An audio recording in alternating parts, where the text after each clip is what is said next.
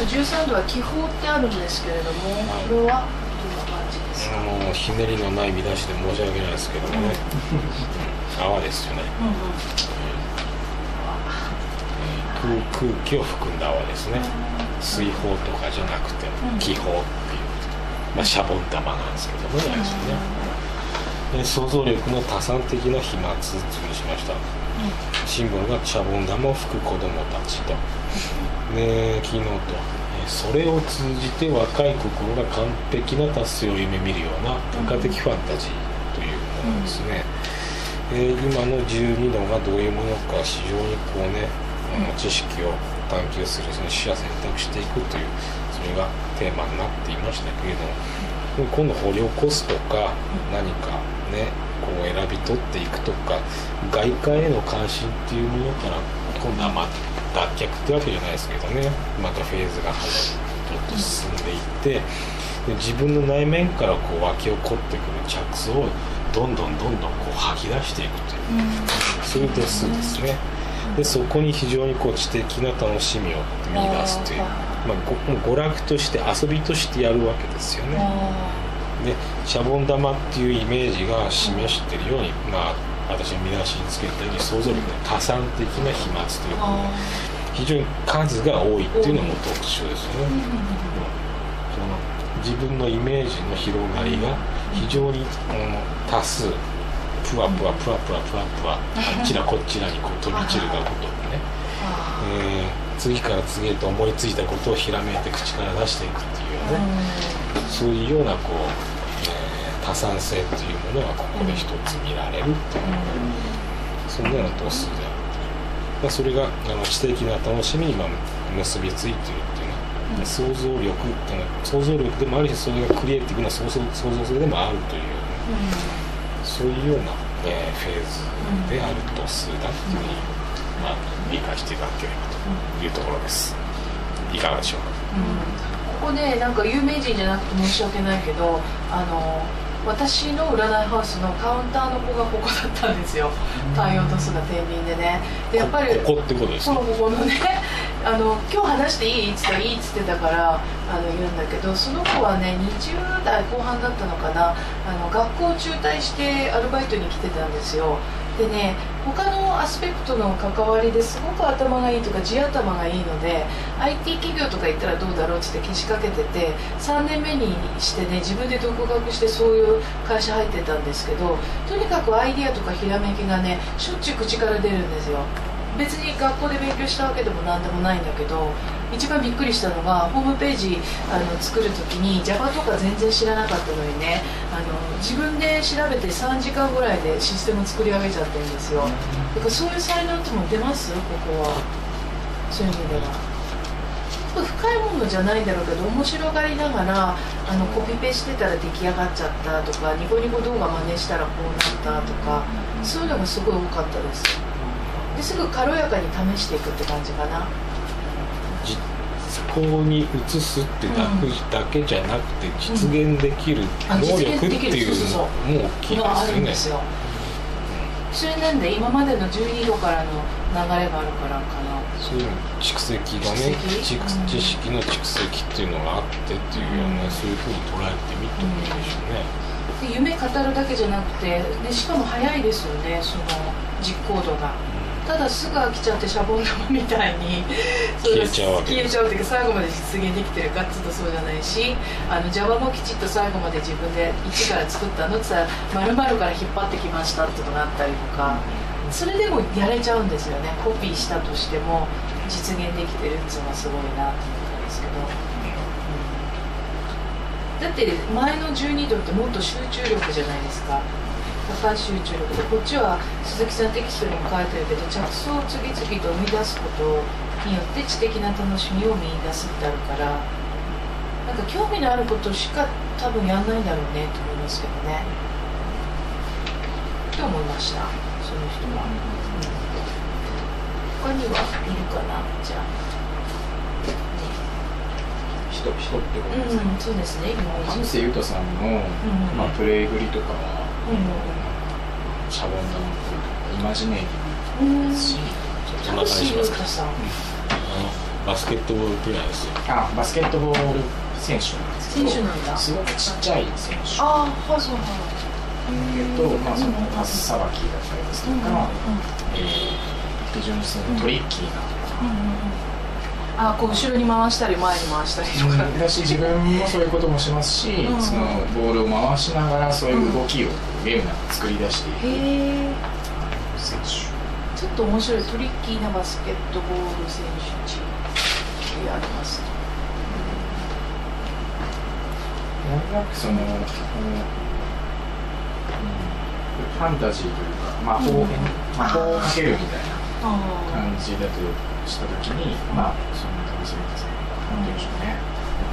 違いを生み出せるというかうん魔法を確かにゲームを作り出すことができるっていう、ね夢見るようなみたいな、うん見せるプレーみたいな。見せるうんサッカーでいうとファンタあジスタそうです的ね。ファンタなやつジスタみたいうんな先ほどのねあの北原さんのお話の中にあったように、遊ぶようにプクプクプクっといろんなことを楽しみながらやるっちゃが、うん。でこんな動きがあったらみたいな。のが、うん。多分そのその方っていうのは、うん。その努力云々じゃなくてそういうイメージが先に。あそうそう。それまさにそうイメージだよね努力じゃなくてそのイメージをね語りたがるんですよ人に、うん。こう思うんですけどとかっつって、でそれを一日も経たず実行してるっていうのがすごいなと思います。でもこだわりないんですよねそのやったことに関して。うん。って意味じゃってやっぱりここら辺まで来るとどうなんだろうな。さっき言ってたあれだもんね。個人的精神的レベルまで来てるしピーク手前だから割とそういう風に生きてる人がいるから軽やかにね、だからなんかそのちょっとこの、こちらの方の方に書い今書いてもらったんですけど、うんこの、まあ、シンボルがと解いて、うんと通ってることの一つに、うんそのチャイルドライフっていう言葉とチャ,、チャイルディッシュっていうかね、うん。そういうのとの違いみたいなことをああどう違うの？要するにそのチャイルディッシュッシュ幼稚幼稚な I ディッシュなん。だ、I ISH っていうのと上はその例えば率直さとか素直さあーあーなるほどね。無邪気さみたいな。うんうんうんうん。なんかそこの違いにちょっとその思い合わせた時にこのシンボルのまあ良さ。こっちだよって感じだそうです。うん。面白いそれぐらい素直だとやっぱり IT とかさその変化激しいとこ合うんでしょうね。その人にとってもね。そのネガティブに出ると下になるかもしれない。ああこっち子供っぽさも出るよとか責任取らないであーなるほどね。そうたら、うん。じゃあみたいなシャボン玉っていうのはじゃあこう自分の心の中とかイメージング能力って見てもいいのかな、うんなんかあれになんか似た感じしますよね。ガラ,、ガラス吹き込みそうね。息を吹き込むって時点で本人のあの自己表現。うん能力クリエイティブとか。なんか似た度数って多いねあっちはもう少しコントロールのある、ん。あの自己表現っていうかね。うん。獅子のガラス吹き声の感じ、あの方が。あ方があそうかそうか。クリエイティビティがあるけどこっちはもうちょっとじゃあまあ服だけっていうパパパパパって自分の息を吹き込む魂を吹き込むことでこうそれそのコントロールによって作品を作り上げていくという、非常にこう高いあの技術を要するというかね、うそういう想像です。よ、うん。それよりはという。それよりはこう非常に多産的な。プカプカプカプカという。じゃあちょっと多産的でプクプクしてる人探してみましょうか。この中で。誰かいないでしょうか。ああ、まそんな感じがしましたね。だってパターン決まってるけど多産なの？この人破産っていうかなんかうん。世を続けるわっていうか。ああ何年だっけ美味しいもんまだ続いてるの？そんだけやめるっつってるじゃないですかえそうなんだ。今スピリッツですか？連載してんの。ね。えすごいな。やめるやめないの話を聞いたあそう気します20年以上続いてますよね。もうなんかあのこの作品をやもう役割を果たした風なことを言っててうん気がしましたねそんだけじゃなくて別に「おいしんぼ」ってだけじゃなくてね、いろんな作風で帰ってきたと思いますしね、うん。それが割とバラバラっちゃバラバラなのかもしれないし、私なんかの感じだとね男組の原作ですよねだってね確かね。男組？うん。池上良一のね私その漫画見て初めて太極拳っていうものを知ったんですけども太極拳ってそんな強えのかよマジかよなん。て小学校の頃見て思ってましたけどね。あそんな昔からいるんだ彼らとそうですよ。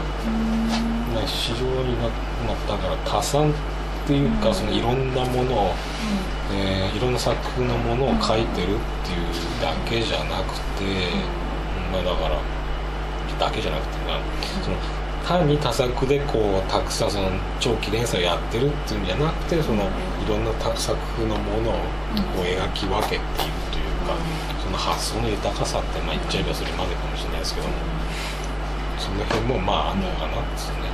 あとなんかさあの雑誌の取材とかでグラビア撮ってマグロ釣りに行ったりしてるから食べることも好きなんでしょうね本人がね、まあ好きなわけうん。ああいうテーマにはならないでしょうね。うん、それがなんか遊びと一致してると思い思いますよねお仕事もね、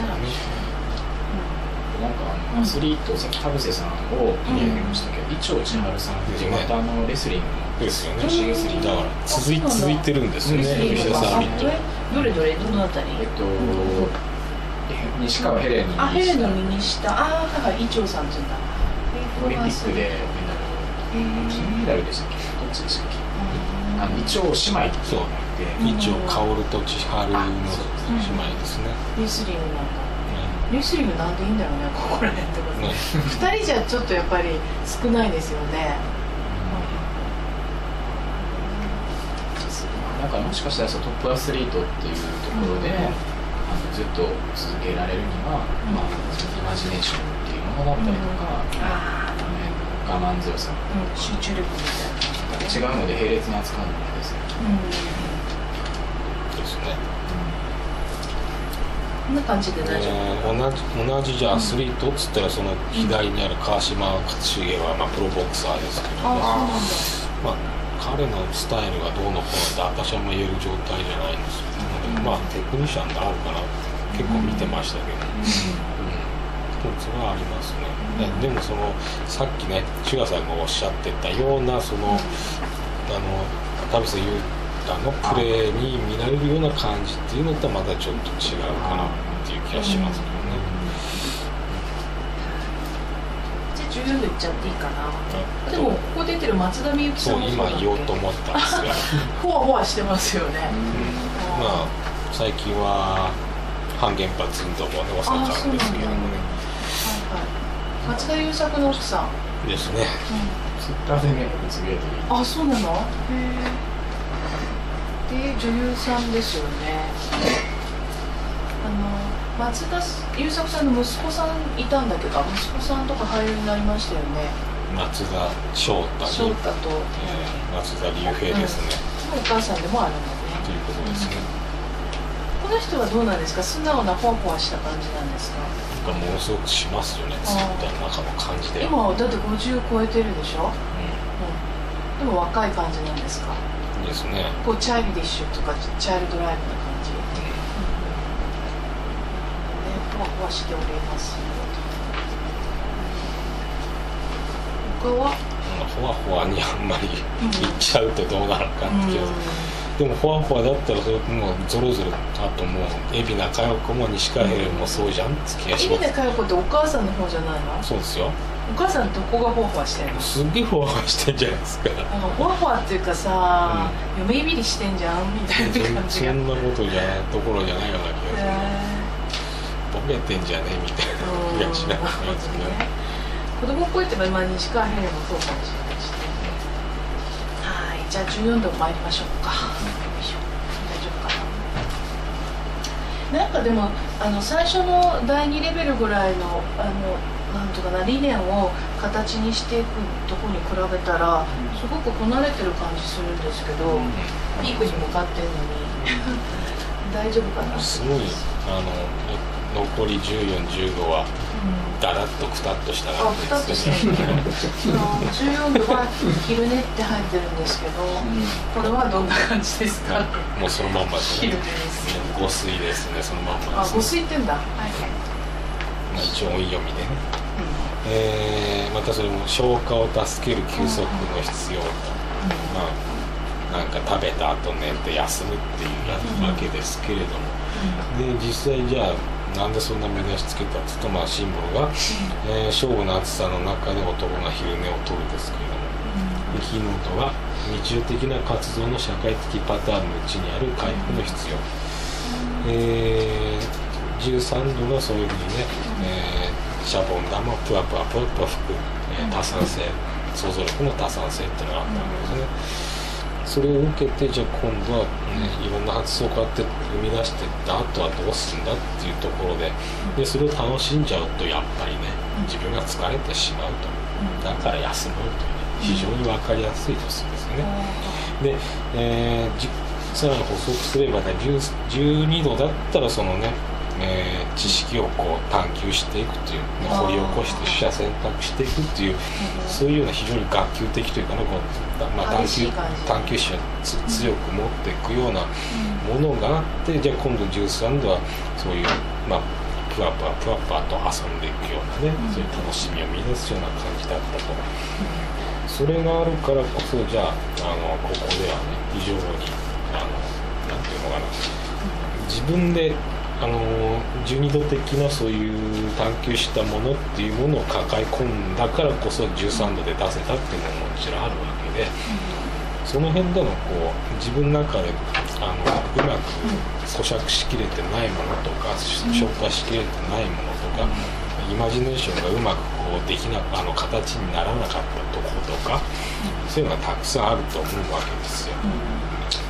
というかな想像そういうものがあると想像されるわけででそれをこうじゃあ自分の中で一旦寝かしていくっていうかあのそそういうプロセスをこの昼寝っていうことでね、えーあの消化し消化する上で必要になってくるっていう、えーそんな感じですね。これ石塚さんのメモもちょっと面白い記述があったんですけど石塚さんのあの発想というかご意見聞かせてもらっていいですか？面白い記述面白い記述だ。あの最後に鈴木さんが言ってくれた消化っていうのにキーワードがあるよみたいなね。今まで11から13まで来たものの未消化物を、うん、どういうふうに、ねあのそのシャボン玉でこういろんな想像力をこう起きてる間にこう試したんだけどその寝てるところであのこうこっちの度数はだからその寝てるところでもしっかり残るものが本物だっていう。なるほど。飛ばした中でってうん残ってるものがあるよってことです。か、ね。あの一応あの4度目の度数っていうのはやっぱり訓訓練とかねスクエアですね。ね定着化っていうかこうそのそぎ落としてこうしっかりしたものにししていくっていう働きもあるので、うんその中というか、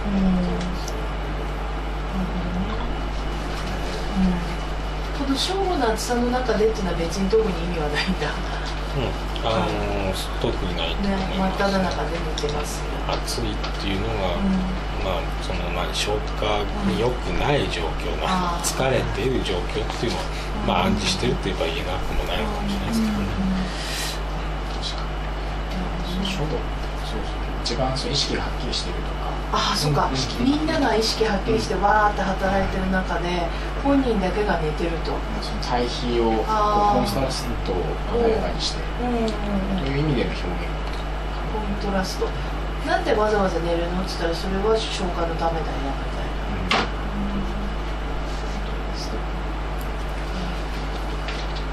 ここで付け加える説明はもう鈴木さん大丈夫でしょうか？はい。何かあります？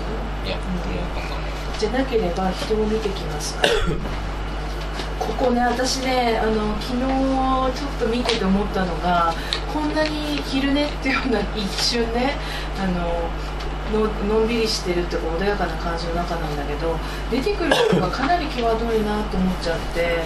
例えばですねあの一番特徴的なのはハインリー・ヒムラーっていうんですか。でその隣のイルマ・グレーゼっていうのがあの女看守だったりしてまずは日村のこと言っとかなきゃダメか。これツインで見た方がいいですよねこの二人は、そうですね。うん、ハイニヒ・ヒムラーってどんな感じですか？で 鈴木さんに振った方が詳しいと思うんで。でそのままつついでに言えばいいじゃないですか、うん。どっちどっちなんだっつって。いやどうぞどうぞ。え？私だってあのヒトラーの SS 隊長やってたところまでしか知らないです。ナチスですね。ナチスの。もうそれだけで十分ですよ。ねえ。ほんでこの人がホロコースト計画したって言われてんじゃなかったでしたっけ？そうではないあそうではないんだ。でもヒトラー暗殺計画もしたりしたんでしょ？この人が。あそうなんですか。うん。って見てたけどねだからその昼寝の中の消化とかあの夜夜じゃないやその昼寝の中で混じり込んでくるイメージっていうか未消化物が何なんだろうかってちょっと思っちゃったりするんですよ。あのしかも隣にいるイルマ・クレーゼっていうのはウシュビッツで ちょっと佐渡に近いような感じのこともやったって書いてあったんですね。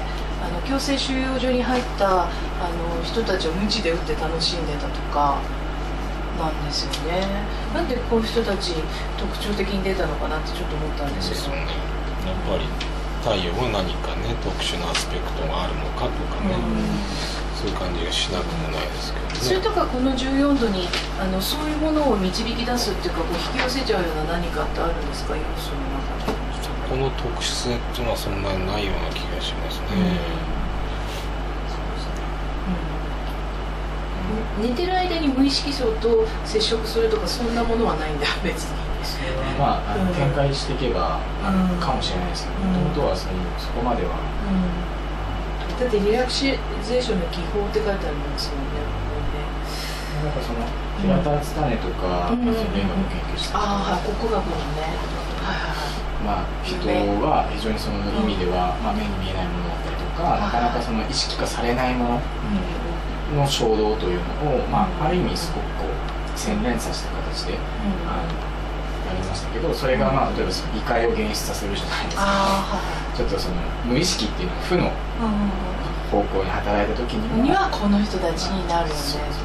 ああそっか。心理的なものの何かに突入、まあ、昼寝してるみたいに異界に関してと没頭しちゃう人が出るとすればよく出るか 変な感じで出るかでちょっと違ってきちゃうよね平田ツタネ国学っていうじゃないですか、まあ、要するにその,、ええその国のなんていうんですか衝動性みたいなのをある程度現出させましたという仮定をするならば、うんまあ、そのドイツ民族ああなるほど。ね。ねの不満だったりとか、うん。まあちょっと負の部分っていうのを現実させたっていうところ、まああちょっと無理やりですけど、いやいやいや。あるかもねって感じだね面白いね日村ちょっとチャートを見てみたんですけども、うん。太陽はソフトアスペクトばっかりですね、本当？むしろね、うん。イルマグレーゼは出てるの？はないです。ないんだ。日村じゃあ見てみます？チャートあるっけ？ありますよ。飛べない？飛べますじゃあ。日村っていうかナチスの中で一番ああいう計画バシって立てたの誰なんだそれは出てないんだ、こっちにあるのかなちゃんと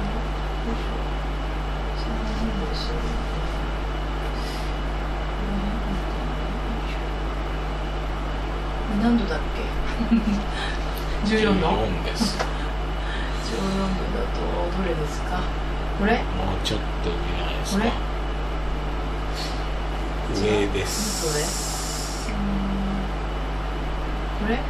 そのし下です、うんちともいそのままでいい自動で飛んでます、で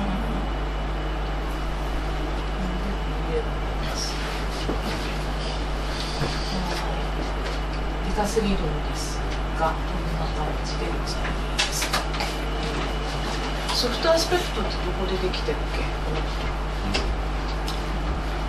目を目をトライですね。あーえっと冥王星と太陽か太太陽のソフトアスペクトを言いました、うんで、えー、木星木星天王星に、うんうん。えーセクスタイルうんですかね。だよねちょっとここか。